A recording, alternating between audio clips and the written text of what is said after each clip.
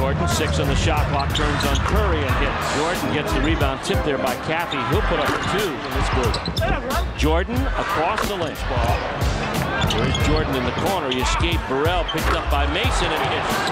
Intercepted by Kukoc. What you wanted, you got your switch, you got a good pass inside. Instead, Michael drains it. Missed it. Gets his own board. Three. Defense is not there, which is where it has been. Jordan, one more three. Give Curry a lot of credit. He can't have a hot hand. He's guarding Michael. Could be. Here's Jordan. Rodman in the lane. Back to Jordan on the baseline. Rodman for a jumper.